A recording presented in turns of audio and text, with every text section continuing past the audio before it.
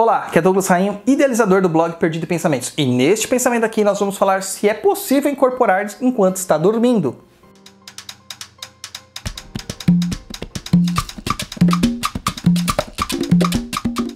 Vamos falar então sobre se é possível incorporar dormindo. Nós entendemos que esta possibilidade acontece, tá? Mas, cara, que loucura! Eu já tive vários sonhos que eu estava incorporando dormindo, mas era um sonho tão lúcido. Sim, eu sei, eu também já tive. Então não é uma coisa assim tão alienígena pra gente, não é uma coisa tão distante da realidade. Mas por que, que se dá esse tipo de incorporação nos sonhos? Se dá pela necessidade de espíritos superiores se comunicarem conosco por meio dos nossos próprios guias e mentores.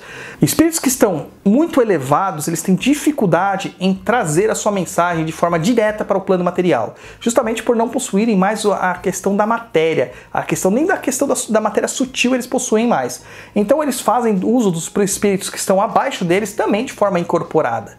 Lógico, obviamente, você também é um espírito. Você está em, em vivendo né, uma matéria, matéria, você está tendo uma vivência material, mas de fato você é um espírito.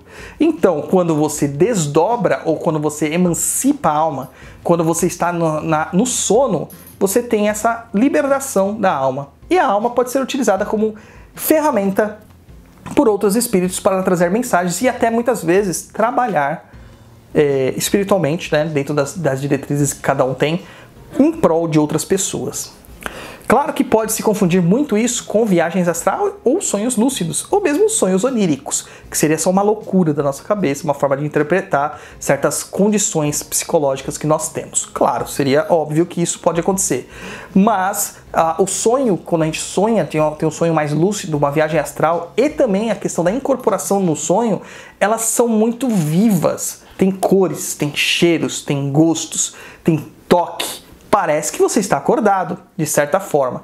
Até porque nós temos os nossos sentidos é, como interfaces. Eles captam, mas quem sente de fato não é o nosso olho, não é o nosso nariz, não é a nossa língua, não são os nossos ouvidos, nossos dedos e tudo mais.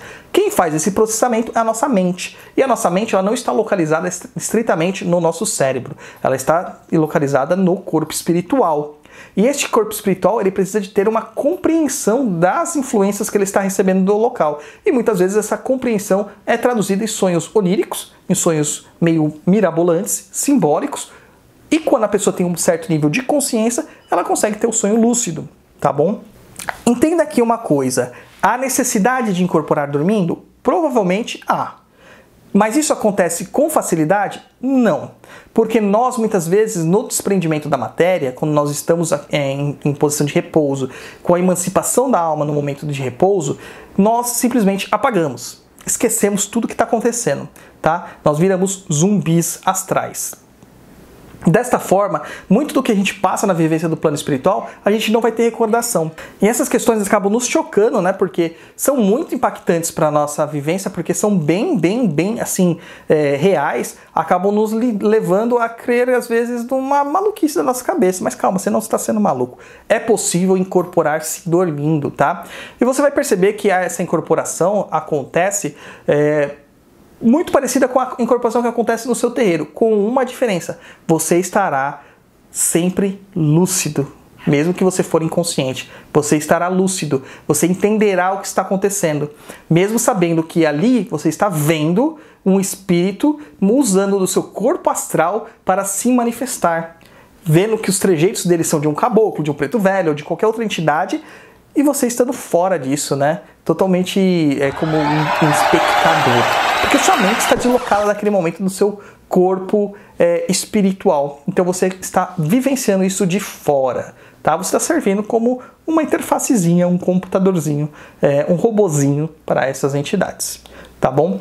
Cuidado com esse tipo de manifestação, porque pode ser também que você esteja sendo joguete de entidades negativas. Então, sempre é bom a ressalva de prestar atenção no tipo de manifestação e na mensagem do sonho tá? fazendo uma análise para ver se é algo altruísta, se é algo importante, se é algo de elevação. Se não for, descarte, trabalhe melhor nas suas proteções e pense bem sobre o que você está fazendo. Meu muito obrigado para vocês, espero que vocês tenham curtido esse pensamento, né? É, deixa aí seus comentários, suas, suas críticas, sugestões, compartilha, se inscreve no nosso canal, visita nosso blog Perdido em Pensamentos, lá o www.perdido.co, ouça o Papo na Inclusa, ouça o Tá Perdido no nosso feed e até um próximo pensamento.